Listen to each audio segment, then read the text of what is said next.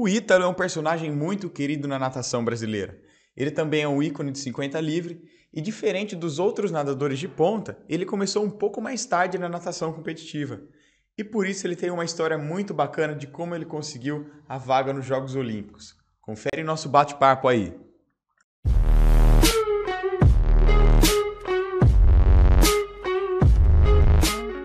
E seja muito bem-vindo à fera de hoje aí, o Ítalo Manzini. Opa, fala Jota, tudo bom? E aí galera, tudo jóia?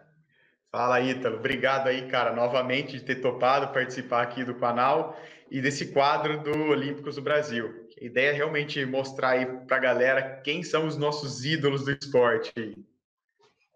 Opa, que é uma, um prazer imenso estar aqui conversando com você. É, você é uma, uma pessoa aí que, que leva o nome do nosso esporte aí para bastante pessoa, e isso é, é muito positivo, tá divulgando o esporte, principalmente a nossa modalidade, né? Puxando aquele, é, aquela sardinha para o nosso lado aí da natação. Massa. É isso aí, cara. Eu vejo que você é um cara que, que tenta também é, ressaltar não só o esporte, assim, aliás, não só a natação, mas todo o esporte, né? Você tem é, meio que um valor, né, de, de, de o esporte sempre estar tá presente na vida das pessoas. Eu acho isso fantástico também. Eu sempre acompanho você falando muito bem do esporte, né, de qualidade de vida. Então, acho bem massa isso.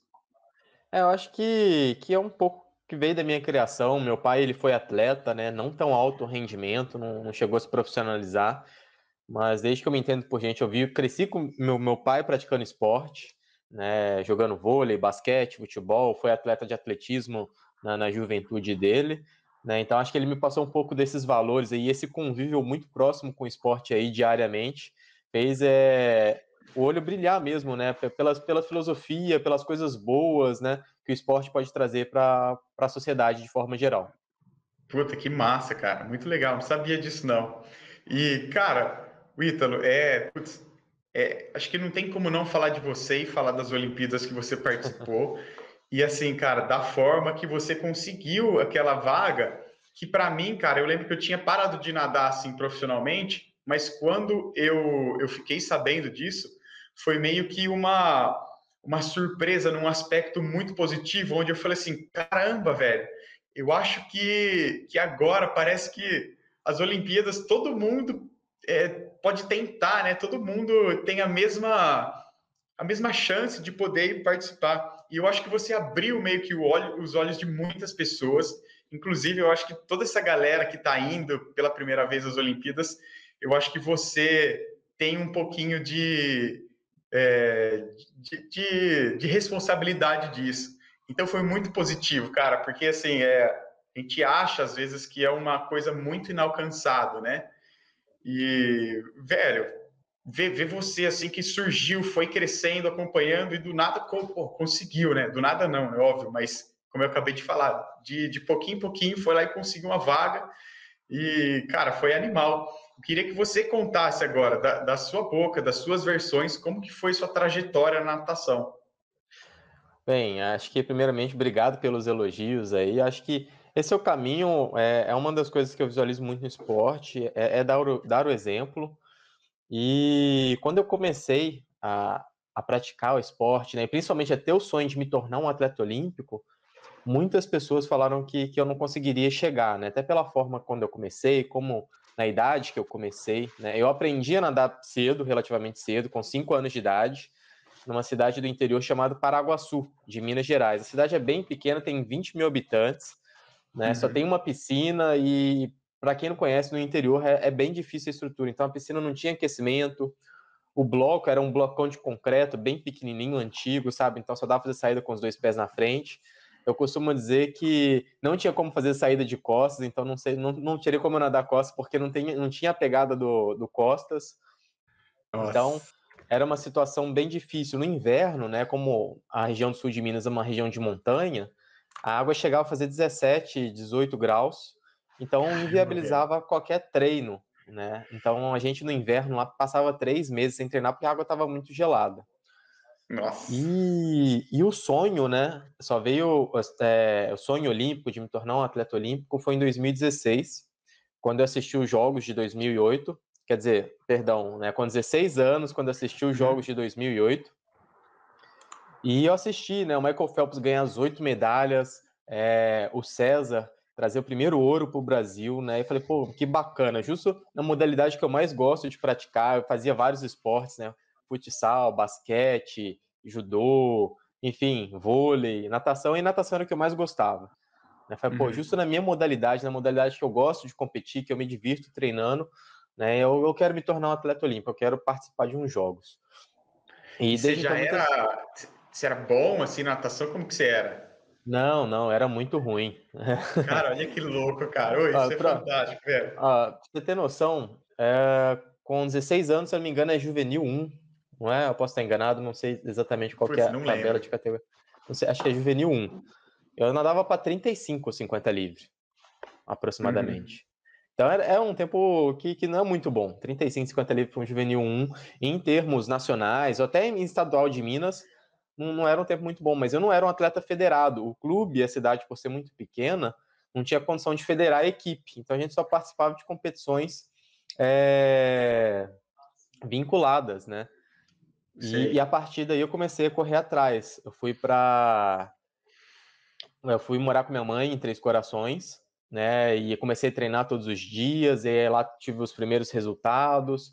Acabei me federando por Varginha, que é a maior cidade do, do sul de Minas ali, e é onde que tinha uma equipe federada, né? né que é a, uhum. a Semel de Varginha. Participei do meu primeiro campeonato mineiro, né? E lá no Campeonato Mineiro, o, o pessoal do Mackenzie Esporte Clube, a treinadora baiana me viu, me chamou para fazer um teste lá, lá em BH, e que seria uma oportunidade boa para mim, porque minha mãe estava terminando o mestrado dela e, eu, e ela ia, ia para Belo Horizonte depois disso. Então, o Mackenzie Esporte Clube em Belo Horizonte, toda a minha família é de Belo Horizonte, apesar de eu ter crescido em Paraguaçu.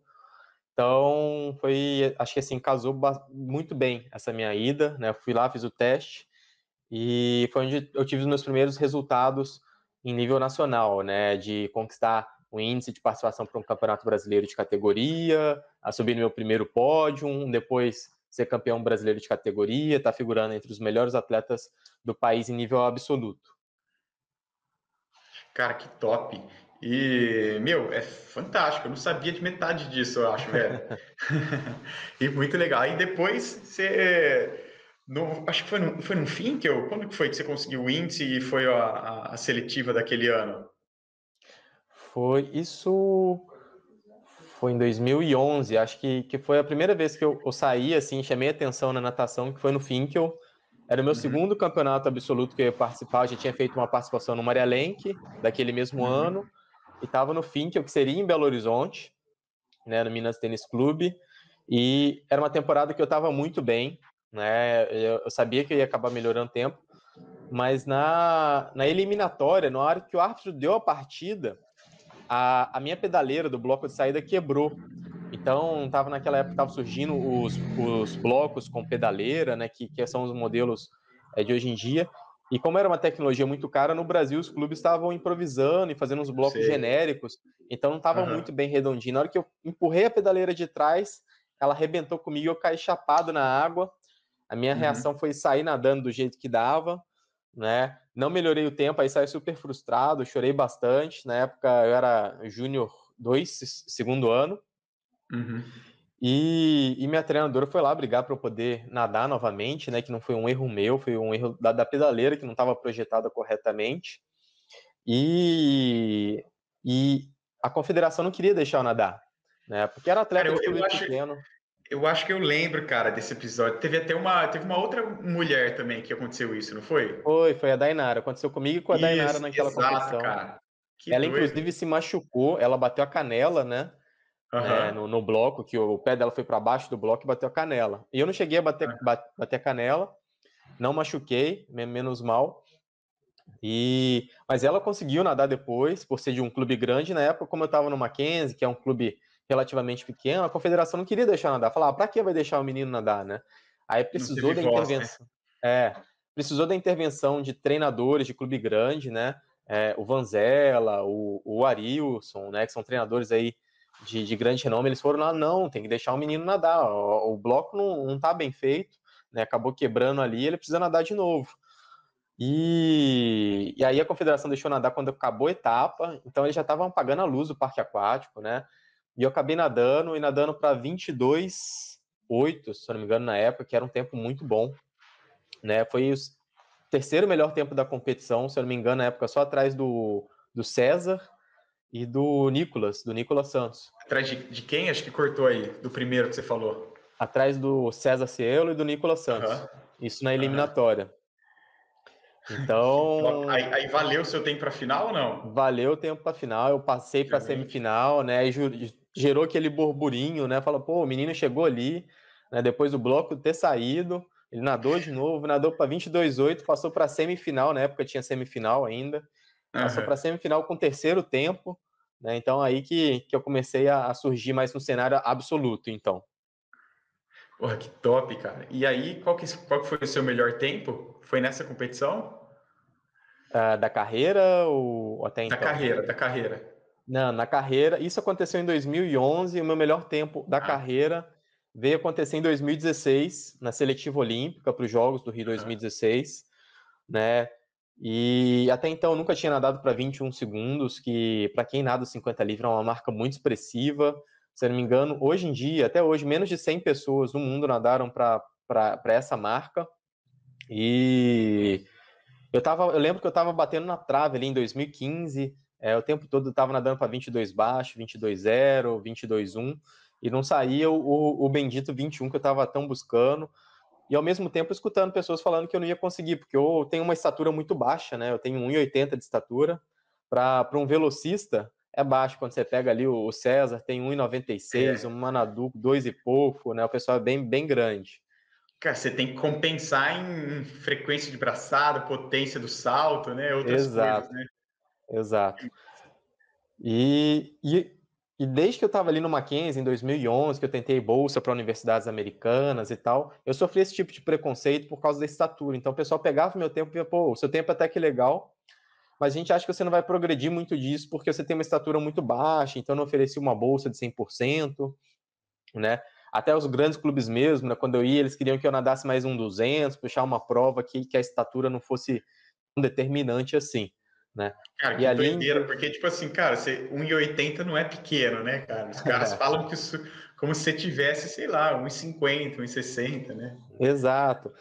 E aí, né, chegou em 2016, na seletiva olímpica, né, e eu falo, olha que, que coincidência que é a vida, né? Em 2008, é, eu assisti o César ganhar o primeiro ouro para o Brasil, foi uma da, das primeiras pessoas, né, a que me incentivaram a ir para uma Olimpíada, a ir para natação do alto rendimento. E em 2016, oito anos depois, eu estava disputando com ele a, a, vaga olímpica pela prova do 50 livre, que é a prova que, que eu mais admiro, que eu gosto de treinar, que eu gosto de competir. Né? E acabei conquistando a vaga, nadando para 21,82 aí, quebrando esse tabu que um menino do interior que começou com 16 anos de idade a treinar realmente, é, uh, que tem baixa estatura, consegue chegar numa Olimpíada, consegue nadar para uma marca expressiva, até então numa prova que, que é só dito que pessoas altas e com envergadura alta podem nadar para 21 segundos. A gente foi lá e quebrou esse tabu. Né, que, que, existia até então no mundo da natação. Né? Isso não era nenhum tabu só do, do Brasil. No, no, mundo inteiro você tem esse tabu que atleta abaixo não pode nadar para 21. A gente quebrou esse, esse paradigma aí. É verdade. Cara, você acha que é, pela forma que você começou um pouco mais tarde na carreira de, de, de nadador profissional, isso pode ter te dado mais gás, assim, mais garra para tentar é, conquistar alguma, é, alguma vaga olímpica, por exemplo? Ou você acha que, independente disso, é, ou você seria até melhor se, se caso você tivesse começado antes, por exemplo? Eu acho que, assim, a gente sempre conta com o fator treino, mas tem o fator sorte também. Eu, eu costumo dizer que eu estive nos lugares certos, na, na hora certa, né? De ter pe pego bons treinadores que, que me indicaram e que souberam é, lidar com o meu biotipo, de ser um atleta velocista, né? Um super velocista e de baixa estatura. Né? Então, uhum. desde o Mackenzie ali, a Baiana foi passando o tipo de treinamento adequado, é, eu tive a passagem pelo Pinheiros de 2012, 2013, não nadei muito bem lá, né? Então acabei sendo dispensado na equipe. Mas pelo fato de eu ter feito bons amigos no Pinheiros, eles me indicaram ir para o Minas Tênis Clube na época, que era o Scott Volker, estava lá. dando treino, e ele soube lidar muito bem com a minha, minha, minha estatura, então a gente começou a ter um resultado muito bom. Né? Então, se eu não tivesse nos locais certos e na hora certa, eu acho que, que o resultado poderia ser diferente. Né? Talvez se eu tivesse despontado muito cedo e ter ido para algum outro clube, né, é, eu poderia ter saturado, então me machucado, né? Então, realmente terem me feito acreditar que eu não era para ter nadado 50 livre. Então, já uhum. um pouco mais maduro, com um pouco mais de maturidade, e sempre com bastante conversa com os treinadores, que foi uma coisa que eu sempre tentei fazer bastante, é dialogar bastante, para a gente entender no que, que a gente está acertando e errando para poder colher os melhores é, resultados possíveis aí na hora da competição. Animal. É... Cara, isso é competência, né, cara? Além da sorte e competência andam lado a lado, né? É. E Cara, quando eu lembro que quando eu tive os meus maiores resultados expressivos, assim, eu sempre tentei é, recapitular tudo que eu fiz naquele dia, assim, como de uma forma de superstição, assim, mais ou menos. Tipo assim, putz, cara, aquele dia eu tava bem, mas será que eu tava me sentindo bem mesmo, né? O que, que será que eu fiz? Como foi minha rotina? E a minha pergunta para você é: você lembra é, como que você estava se sentindo no dia que você fez esse 21 animal, assim? o dia que foi, teoricamente, o melhor dia da sua vida em termos de performance? Eu costumo dizer né, que eu me considero um atleta até que forte psicologicamente, né, mas o que me dá essa força psicológica é fazer a preparação bem feita, saber que a gente treinou muito e que, e que não houve erros, pelo menos da minha parte. Né? Eu costumo dizer, o que eu posso controlar, eu tento controlar. O que eu não posso controlar, né, que são meus adversários, os imprevistos, climas, né, então, eu não, não preciso me preocupar com, com aquilo, porque é uma coisa que está fora do meu controle. Né? A gente pode tirar como exemplo hoje em dia a pandemia. Né? Aconteceu uma pandemia aí no mundo, mas eu não posso controlar, eu não posso ir lá resolver essa situação sozinha, pegar e desenvolver a cura para acabar com isso. Uhum.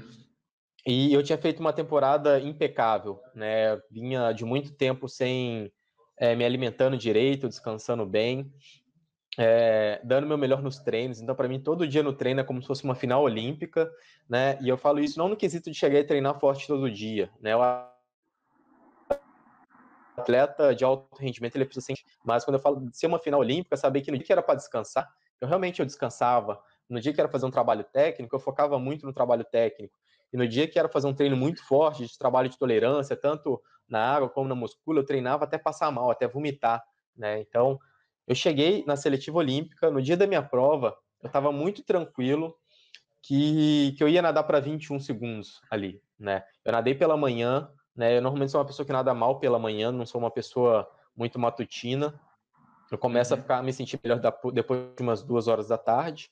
E pela manhã eu já nadei muito próximo do meu melhor tempo da, da vida, que era tipo, nadei para 22,16, se eu não me engano, na eliminatória. Então eu sabia que o 21 ia sair de tarde. Normalmente eu abaixo uns 20, 30 centésimos da etapa da manhã para de tarde. Então eu falei, cara, o 21 vai sair.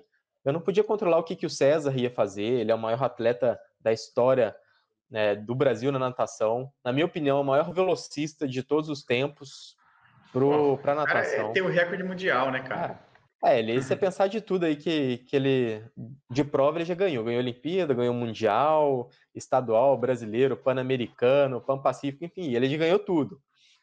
Então, para mim, ele é o maior atleta da história uh, dos velocistas da natação. Então, eu não podia controlar ele. Ele é um adversário fantástico, me ensinou muita coisa boa, mas eu estava confiante que eu ia nadar para 21. Né? não sabia se ia ser 21,9, 21,8, 21,7, mas eu sabia que ia acabar nadando nesse range aí. Então eu tava tranquilo, eu tava aproveitando o dia, né? É, eu, eu, lembro que eu assisti meus amigos nadando as provas dele, então tava realmente curtindo o momento ali, porque uma seletiva olímpica acontece uma vez a cada quatro anos, então a gente tem que aproveitar o momento, porque não é sempre que, que vai acontecer, né? A cada quatro anos acontece um, um evento desse, então você tem que aproveitar, até porque muitos seus amigos vão estar tá lá, né? Quem, quem é atleta de alto rendimento, pô, pessoa que treinou com você, que sentiu a mesma dor que você, talvez ele conquiste a vaga. Então eu estava aproveitando bastante ali aquele momento e sabia que ia nadar muito bem. Porra, que top! E, cara, eu acho que você deve ter ressaltado bastante, assim, a questão do César, porque eu lembro que na época, é, cara, a mídia, né, caía muito em cima, falando assim, ah, o cara tirou a vaga do César, né, o cara, você deve ter sofrido muito com isso, né, cara? Ou não? Acho... não, não, acho que, que eu fiquei tranquilo, era uma coisa de se esperar. É, Mas a galera falava, né? Falava, falava. Mas é uma coisa que a gente trabalhou bastante com o meu psicólogo, com a minha psicóloga na, na época. É, a gente sabia que o favoritismo era do César, né? É, mesmo em 2015 eu já estava com a vaga, né? E no final de 2015 a vaga estava comigo com o Bruno Fratos. É né? Então eu virei o ano com a vaga.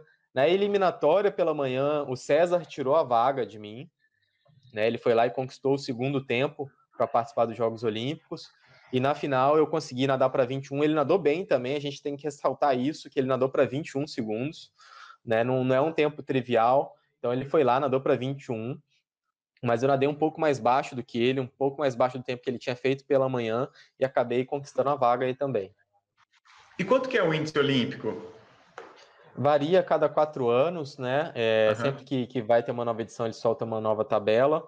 Em 2016 era 22, 21. Uhum. Esse ano é 2201.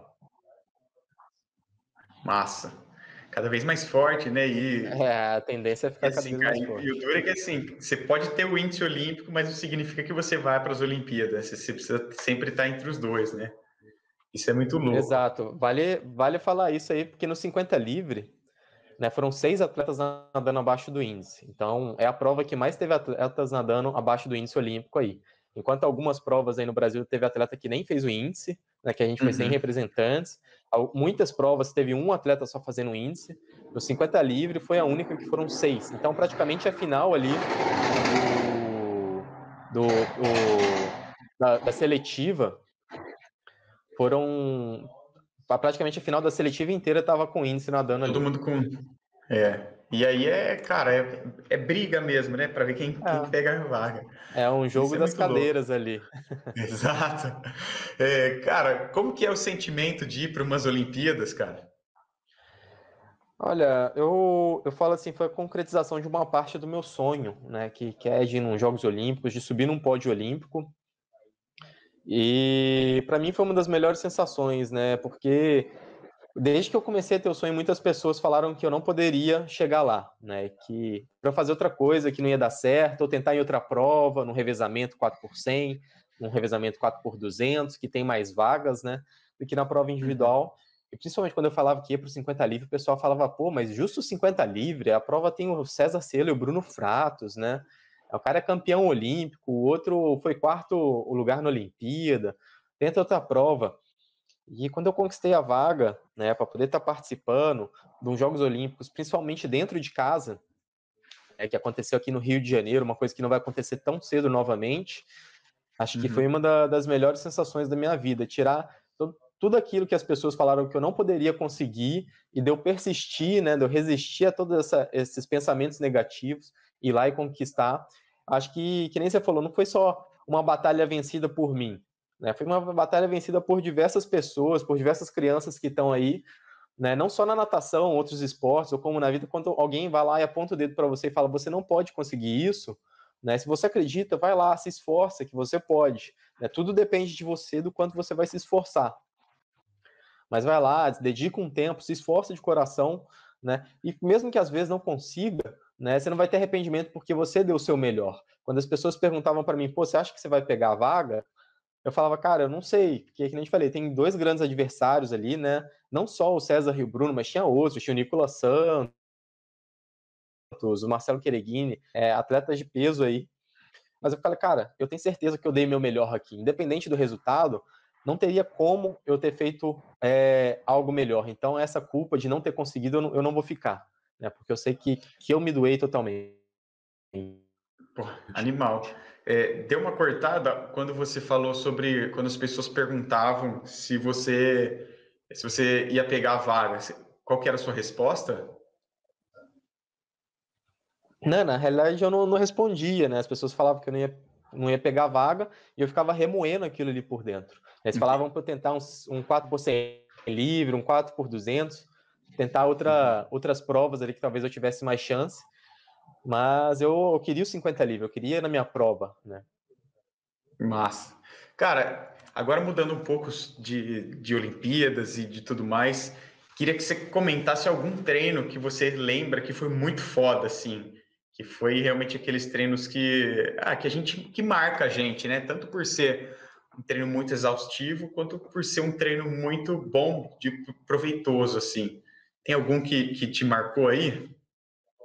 Bem, acho que alguns treinos marcaram, mas que Com eu certeza. posso citar um, um, treino que a, que a treinadora baiana, né, que, que, que era do, do Mackenzie na época, é, me passou, que é uma série que me marca muito até hoje, que foi uma série que eu vomitei duas vezes na série, né? Eu fui lá, vomitei a primeira vez, aí eu falei, ah, agora vai acabar, né? Que ela vai mandar eu, eu parar a série. Ela mandou eu voltar para a piscina e terminar a série, eu fui lá e vomitei novamente. A, a e série tinha alguma era... coisa, não, vomitou nada, né? Ah, a segunda vez foi, foi só o restinho ali, né? O que tinha mesmo ali no estômago saiu, foi quase nada. Mas a série era assim, era 3 de 200 a 3, 6 de 100 a N, aí 6 de 100 a 3 e 12 de 50 a N. Então, Nossa, cara. Era uma série absurda de difícil. E até hoje eu olho, olho para trás, vejo essa série e falo, cara, não sei como que, que eu consegui fazer essa série, porque era muito difícil. E, e, chegou nos de 50, né? Eu terminei o 6 de 100, eu vomitei, né? Aí eu fiz o, o 6 de 100 a 3 de novo, e entrei para os 12 de 50, aí eu terminei os 12 de 50, eu vomitei de novo. E eu lembro que a treinadora falava assim, né? Estava lá pelo oitavo, nono tiro, ela falou, ó, oh, se você nadar para tanto, você vai repetir a série. E eu já Nossa, tava. Botando pressão ainda. Botando pressão. E eu tava muito próximo do tempo que ela tava falando. Eu tava tipo uns 10 centésimos abaixo ali. E eu tava quase chorando, né? Falando, pelo amor de Deus, eu não posso começar essa série do início de novo, não. É, então. Mas acabou que deu tudo certo. Eu terminei a série man mantendo ali. Acho que, que essa pressão que ela colocou foi justamente para eu me esforçar até o limite. É, né? exato. Né? Para eu, eu, segurar o tempo ali até o finalzinho. E, e deu certo, cara. E eu falo, foi muito importante porque essa passagem com ela me ensinou a nunca reclamar dos treinos e do trabalho que precisa ser feito, né? Recentemente, uhum. né, eu estava fazendo um treino aí semana passada que o treinador Delano, que é o, o treinador que está fazendo minha ação agora, eu mitei no treino, né? E, e, a gente continuou o jogo, né? Ele falou, pô, você tá bem? Falando, então bem, vamos, vamos, vamos continuar, vamos dar sequência aí, porque faz parte. Cara, que top. Fortalece, né, cara? Tanto fisicamente fortalece, quanto mentalmente. É, cara, e hoje os seus treinos eles são mais polarizados, assim, mais curtos em relação a distância e mais intensidade, ou ainda você faz bastante coisa tipo é, aeróbia, por exemplo? Não, acho que tem, tem um equilíbrio, né? Não vou dizer que os uhum. treinos são tão curtos, né? Mas eles também não são, não são muito grandes. A gente faz um pouquinho de aeróbico, acho que, que, que o aeróbico ele pode ajudar sim o, o velocista a, a, desenvolver um pouco de distância por braçado, mas tudo em muito em baixa intensidade. Né? Tanto que a gente nem uhum. coloca uma meta de tempo, então alguma nomenclatura, por exemplo, fazer em A1, A2.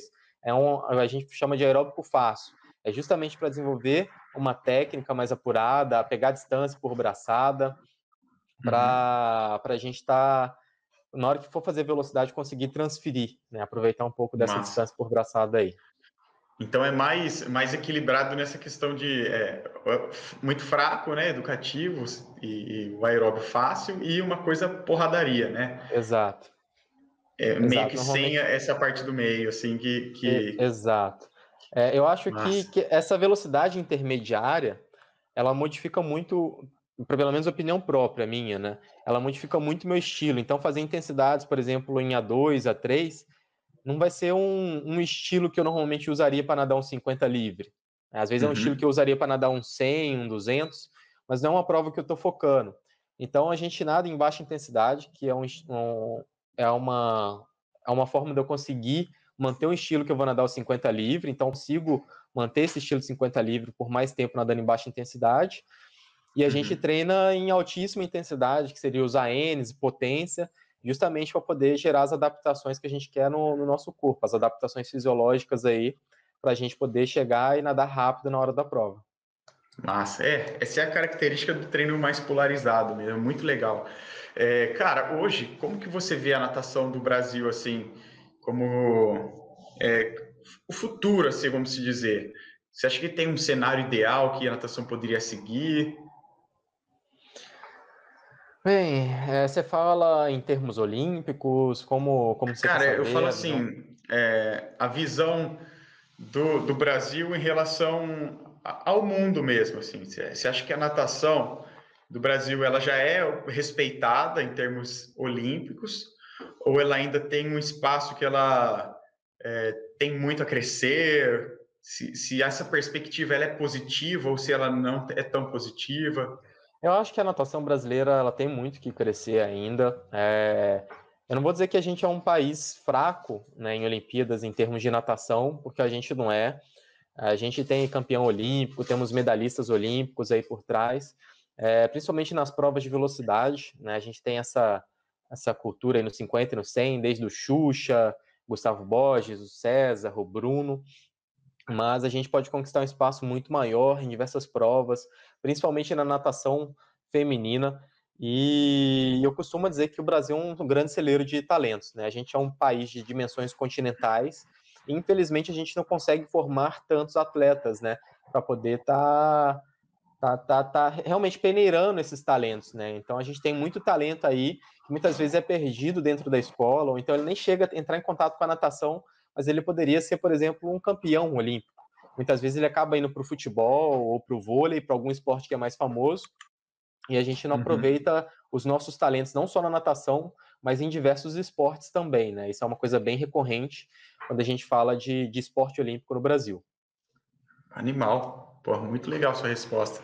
É, cara, agora umas perguntinhas rápidas, assim, para você responder de bate-pronto, né?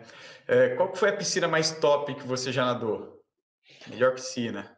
Ah, com certeza foi a, a da, dos Jogos Olímpicos e da seletiva aqui no Brasil. É, acho que o, que o clima da estrutura ali era, era é. fantástico, do Parque Olímpico. Não sei se teve a oportunidade de, de ir lá, mas o, o, ambiente e a piscina eram, eram maravilhosos, sabe? Então, acho que nenhum lugar no mundo eu nadei numa, numa piscina ou num ambiente parecido com aquele. Foi, foi fantástico.